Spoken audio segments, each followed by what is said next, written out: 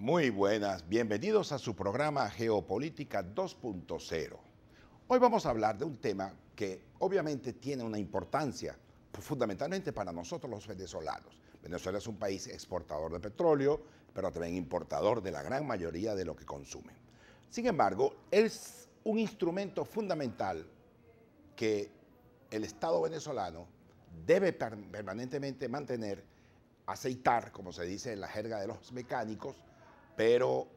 que requiere a su vez de un dominio y de una preparación. Ese instrumento, esa herramienta, no es otra sino la diplomacia. Evidentemente que la diplomacia es arte y ciencia y fundamentalmente en el manejo del conocimiento y la prudencia. El profesional de este oficio sabe que es muy complejo el área en la cual trabaja, es muy grande, por lo cual eh, los escenarios para los cuales este instrumento le hace la diplomacia son fundamentalmente la paz, el comercio, la política, eh, la cultura y obviamente los tratados. Estos factores implican una elevada dosis de discernimiento, de prudencia, de ponderación y a su vez de experiencia, ¿no? sus resultados se observan en los que llaman, pues, en los anales, en los cuadernos, en los libros, en las historias de las relaciones internacionales. Eh, la diplomacia eh, a veces es mal interpretada, es mal eh, entendida. Unos la conceptualizan pues como un instrumento de la política exterior de cualquier Estado para alcanzar sus objetivos, en tanto que otros la, califican, la conceptualizan pues como el arte para dirigir las relaciones que te permita a ti ganar sin necesidad de, llegar a un conflicto. Ahora bien, estas dos visiones deben observarse a través del, eh, ¿cómo se llama? A través de la política exterior de un Estado que realiza justamente su accionar en las circunstancias evitando un abusivo protagonismo por parte de los jefes de Estado, relegando, delegando particularmente ese oficio en aquellos profesionales, conocedores, repito, de idiomas, de experiencia, de derecho, de historia, de economía, para que lleven a cabo, por cuanto los jefes de Estado no son los, eh, digamos, los profesionales del oficio, sino que simplemente ellos son los que dirigen el Estado y eh, legan, pues delegan en sus eh, funcionarios diplomáticos la actividad normal. Ahora bien, el, recorrido que ha tenido la diplomacia como actividad ha sido variado, ha sido de lo simple a lo muy complejo, al, al punto pues que podemos decir que ya la diplomacia aparentemente tiene, pierde sentido justamente por la aparición de nuevas formas de comunicación, entre ellas la particularmente eh, a raíz de la explosión informacional y comunicacional, como por ejemplo el caso de Wikileaks, que puso sobre el tapete un conjunto de, eh, vamos a decir, de prácticas por parte de algunos estados que hace pues que la diplomacia aparezca como algo innecesario y, eh, fuera de sentido. Sin embargo, hay que decir lo siguiente, que mientras existan el actor como, el Estado como el actor principal en el manejo de las relaciones entre estos, entre los estados, eh, siempre será necesaria la diplomacia, siempre será necesario la participación del individuo que eh, procura pues de obtener eh, resultados positivos mm, más allá del factor político ideológico, sino que se centre fundamentalmente en el caso de, de ser una diplomacia seria, consustanciada pues con el gran conocimiento, consustanciada con el gran interés nacional. El verdadero diplomático sabe que esta disciplina no conoce revoluciones. Ella no conoce de cambios sustanciales en tanto y cuanto el escenario internacional no cambie. El, el, tipo de diplomático que conocemos incluso en el siglo XXI es un tipo de diplomático que responde a la evolución de las relaciones internacionales, a la relación entre los diversos actores que participan en el, escenario internacional. Evidentemente, repito, hay que tener conocimiento de derecho, de economía, de la política, de la historia de las relaciones internacionales, del derecho a los tratados. Estos son, evidentemente, los elementos claves que debe manejar un diplomático para poder experimentar pues, eso que llaman un proceso de ayornamiento, es decir, en la medida que tú vas conociendo más, tienes la posibilidad de irte adaptando, de irte ayornando, como se dice en italiano, a las nuevas variantes, a los nuevos eh, elementos que surgen en la palestra de las relaciones internacionales. Lamentablemente ello no ocurre pues con la diplomacia llamada bolivariana. Se dice que es una diplomacia revolucionaria, pues eh, esta como, como hecho se reduce al manejo propagandístico eh, de individuos que no son profesionales en esas áreas, en el área de la diplomacia, sino que colocan a propagandistas, a comisarios políticos, que eh, la gran mayoría desconocen el tema, eh, desconocen idiomas, desconocen el tema, sino que son enviados al exterior a cumplir la misión de propagar la, la, ideología ah, que sustenta al régimen en el interior de Venezuela. Eh, evidentemente ellos no, por su escaso, por su escaso profesionalismo, ellos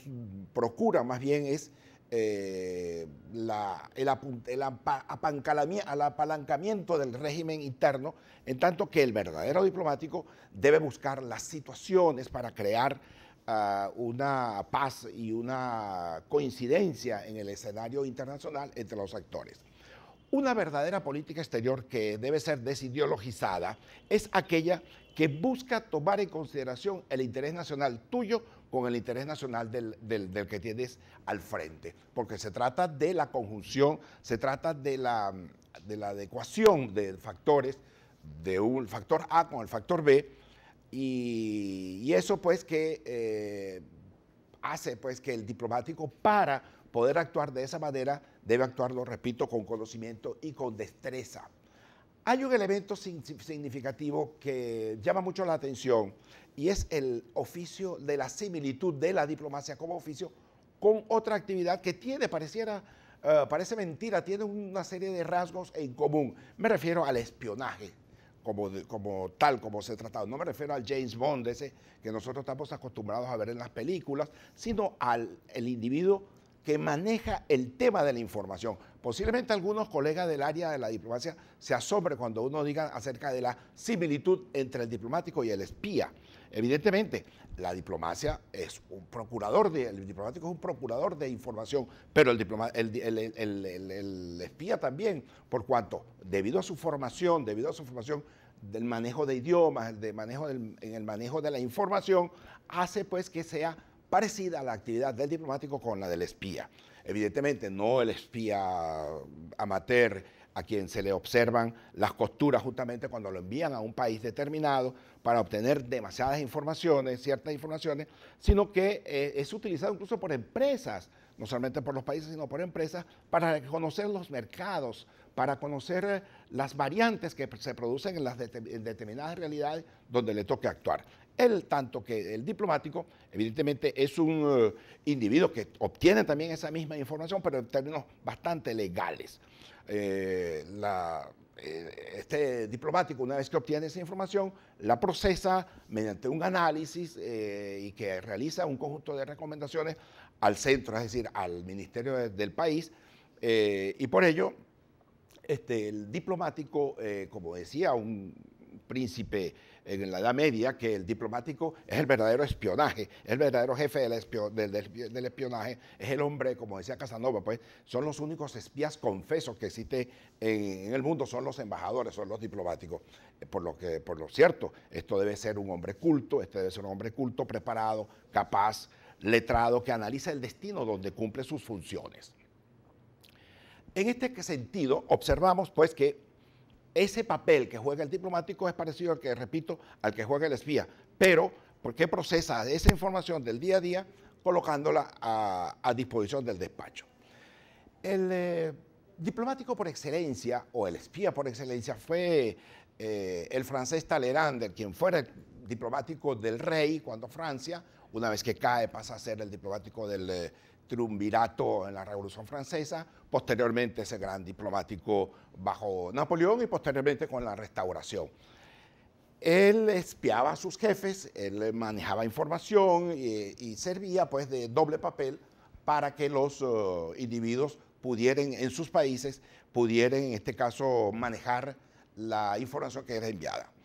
El siglo corto, el siglo XX, como le llamó el historiador Eric Hobsbawm, califica que eh, el siglo XX es un escenario en el cual el espionaje y la diplomacia encontraron o tienen una gran fuente de información, gran fuente de conocimiento, gran fuente de, anécdotas y de fenómenos que deben ser analizados. Durante ese siglo corto que, del cual habla Hosman, el siglo entre 1918, 17 y 1991, por eso lo llamamos el siglo corto, eh, se produjo una ideologización extrema de las relaciones internacionales. todo el mundo se vio pues bajo el esquema de amigo-enemigo, eh, la diplomacia, por supuesto, era asociada al espionaje y el espionaje era asociado a la diplomacia. Sin embargo, los funcionarios, los diplomáticos, los reales o los espías, ellos para poder desempeñar su, labor, repito, debían tener una preparación extraordinaria que lo hacía como seres impecables. Nada que ver con estos diplomáticos bolivarianos que lamentablemente, eh, o, el prototipo de la gente Salazar, pues como se dice en el humor venezolano, uh, quienes eh, son casados en sus primeras eh, incursiones en los eh, suelos donde les toca desempeñarse, por cuanto, como se dice en la jerga beisbolística, se le ven la costura a la bola antes de lanzar la primera bola, antes de lanzar la primera, pues, porque van con ese chip en la cabeza pensando que van a combatir al imperio, y así lo dicen y así lo hacen, cuestión que por lo demás son descubiertos inmediatamente. Vale la pena destacar una anécdota que dijera, que escribiera el eh, insigne y gran eh, diplomático venezolano, el doctor Simón Alberto González, canciller en dos ocasiones. Él decía que la política internacional, en ese periodo del cual hablaba Hosman, ese periodo corto, era la época de la, diplomacia bipolar, era la segunda mitad del siglo XX. Eh, había una interrogante para él, que en qué medida Venezuela tuvo que adecuar su política exterior a los diferentes, vaivenes que generaba la estructura de las relaciones internacionales mm, manipuladas, golpeadas, eh, guiadas pues por la presión del interés nacional por un lado de los Estados Unidos y por otro lado por el interés nacional de la Unión Soviética, es decir, desde el punto de vista ya no tanto del interés nacional, sino desde el punto de vista de la, ¿cómo se llama?, de la supremacía pues de la Guerra Fría obviando y obligando a los estados a actuar de una manera un poco en contra de su propio interés nacional. En este caso, la política exterior venezolana actualmente se, eh, se muestra pues ya no como una política exterior, sino como una acción exterior zigzagueante, eh, que responde más que todo a intereses extraterritoriales, extranacionales, y que nos coloca a nosotros en una situación muy difícil por cuanto nuestra política exterior, repito, no es política, sino una acción exterior por demás zigzagueante.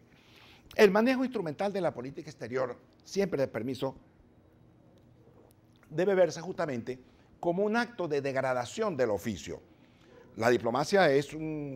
vista pues como algo, como un oficio ultrajado, mancillado, mm, convertido pues en un eh, campo de individuos eh, que profesan una, un apego pues, a una revolución que no existe, pero sin embargo, el, manejo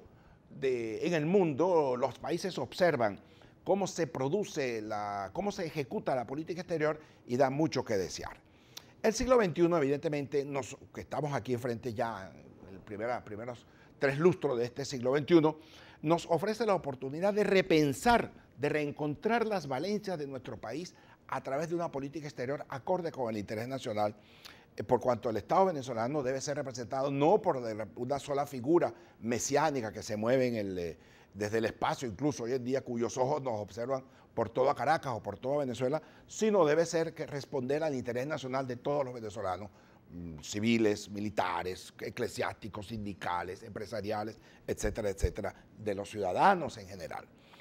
Eh, el diplomático debe ser un individuo que no exude groserías, vulgaridad, por el contrario, debe mantener un decoro, eh, por cuanto él no se representa a sí mismo, él está representando al Estado venezolano en este caso. Y da mucha pena cuando uno observa a un diplomático o a un jefe de Estado, va a discutir con un ministro o con otro en traje de deporte, cosa que es un poco choca pues con la, con la usanza y con las costumbres y con el uso de las buenas costumbres del oficio de la diplomacia. Por lo tanto, la política exterior, evidentemente venezolana, con ese instrumento del manejo pues, de la diplomacia, tiene enfrente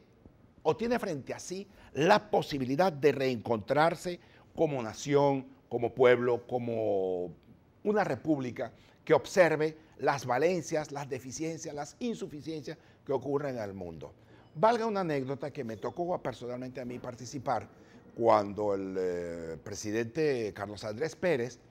eh, durante la visita que hiciera aquí a Venezuela, el presidente Ilión, Ion Iliesco, el primer presidente post-Ceausescu, post la etapa comunista, este señor vino para acá en el mes de julio del año 1991 y bueno, en, una cena un tanto privada, habíamos uh, tres, cuatro personas por parte de Venezuela y tres, cuatro personas por parte del eh, presidente rumano. Y en la conversación, eh, el presidente rumano le hizo una pregunta, una consulta al presidente Carlos Andrés Pérez. Eh, ¿Qué pensaba el presidente Pérez de la Unión Soviética? Eso fue en julio de 1991. Y el presidente Pérez en su estilo muy habitual, raudo y veloz para usar la repetición de, esa expresión, le contestó pues que de no haber existido la Unión Soviética habría que haberla inventado. Quizá con eso marcó de alguna manera el dominio de que las relaciones internacionales es un escenario, y en el caso particular en el cual se movía Venezuela, era el escenario de la Guerra Fría. Y estaban dos polos enfrentados y Venezuela aparecía como una pequeña bicicleta frente en medio de dos gandolas. En la política exterior venezolana, la civilista, la democrática, durante 40 años, que exudaba profesionalidad, exudaba, exhalaba con dominio, conocimiento, aún con las grandes dificultades que le tocaba enfrentar,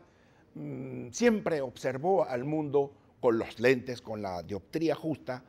de comprender que tú no te puedes plegar a un, polo por cuanto, o a enajenar tu política exterior, por cuanto eso es muy dañino para, para tu política, para tu interés nacional.